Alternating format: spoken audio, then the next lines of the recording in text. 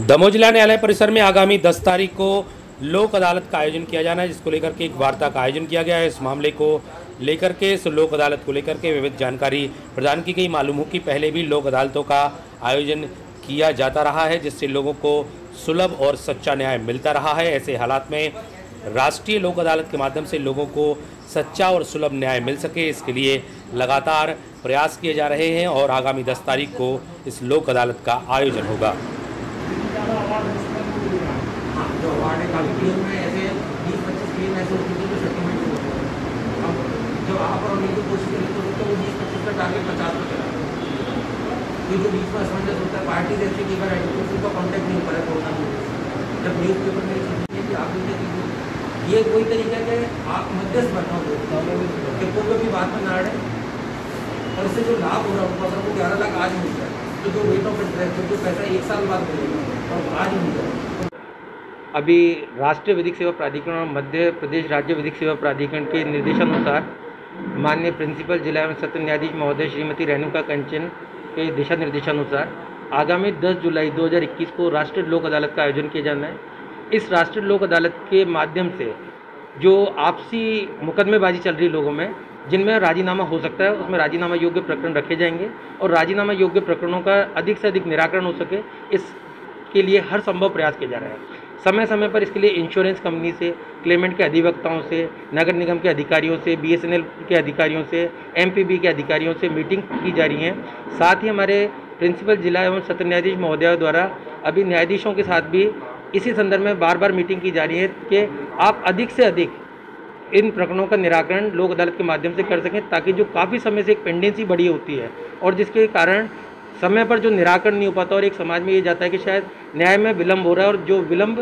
अन्याय के समान माना जाता है। तो इसी के लिए एक प्रयासरत होते हैं कि लोक अदालत के माध्यम से उन चिन्हित प्रकरणों को, ये छोटे मामले हैं जिनमें राजीनामा हो सकता है, उनको जो क्रिमिनल में जैसे आपने देखा होगा नेगोशियबल इंस्ट्रूमेंट के मामले होते हैं वन थर्टी चेक बाउंस के मामले क्योंकि निश्चित रूप से चेक कोई ना कोई अपने जान पहचान वाले को देता है। और बाद में जब वो चेक बाउंस होता है तो लोगों के बीच में एक मनमुटाव पैदा होता है। तो उनको भी हम लोक अदालत के माध्यम से निपटा सकते हैं ताकि किसी ने किसी की मदद करी और बाद में उस पर चीज़ मुकदमेबाजी हुई है, जो उनके बीच की खटास है, जो खाई बनी है, वो दूर की जा सके। जैसे आपने देखा होगा, मध्य प्रदेश राज्य विद्युत सेवा ये मध्य प्रदेश जो विद्युत प्राधिकरण है, उनके जो एम के विद्युत चोरी के जो प्रकरण हम देखते हैं, गाँवों में काफ़ी बनते हैं।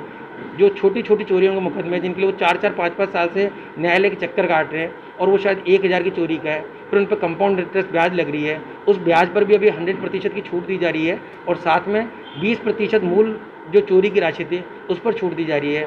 काफ़ी प्री लिटिगेशन के मामले होते हैं जो अभी न्यायालय में आए ही नहीं हैं। उन मुकदमों को भी आपसी सहमति से निपटाया जाता है। साथ में जो पारिवारिक मुकदमे होते हैं, कि जो परिवार के बीच में पति पत्नी के बीच में कोई मुकदमेबाजी हो रही है, वो आपसी राजीनामे से हो सकें, ताकि उनके परिवार में जो टूटने की कगार पर आ गया, वो परिवार बचे, और जो उनके आने वाली संतति है, जो उनके साथ रह रही हैं, उनका भी भविष्य सुरक्षित हो, और आपसे प्रेम बना रहे। और एक समाज में एक अच्छा मैसेज जाए कि लोगों को जोड़ने के लिए हम लोग प्रयास रहते हैं।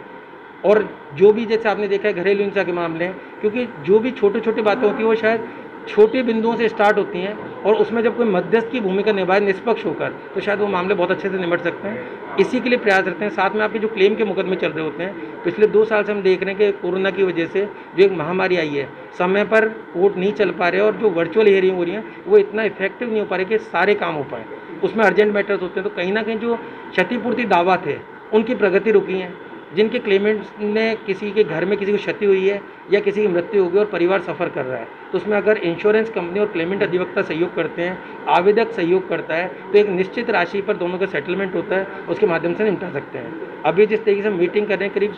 काफ़ी अच्छा सकारात्मक रुख आ रहा है और लोगों की तरफ़ से, याचिकाकर्ताओं की तरफ़ से, अधिवक्ताओं की ओर से, समस्त न्यायाधीशगण की ओर से एक सकारात्मक रुख आ रहा है कि वो लोक अदालत में बढ़ चढ़ कर भाग ले रहे हैं। और जिस तरीके से मुझे यहाँ सभी का सहयोग मिल रहा है आपके प्रचार प्रसार के माध्यम से जो प्रेस वालों का सहयोग मिल रहा है, ताकि आम जन तक वो जानकारी पहुँच सके कि हम अगर लोक अदालत के माध्यम से अपने मामलों का निराकरण करेंगे तो उससे कितना फ़ायदा होता है, कितने लोग लाभान्वित होते हैं, उस पहल के लिए मैं आप लोगों को सहयोग चाहूँगा। और इस सकारात्मक रूप पहल में आप लोगों के सहयोग की अपेक्षा करता हूँ और पूरी उम्मीद है कि हम लोग मिलकर 10 जुलाई 2021 को होने वाली राष्ट्रीय लोक अदालत का एक सफल आयोजन कर पाएँगे।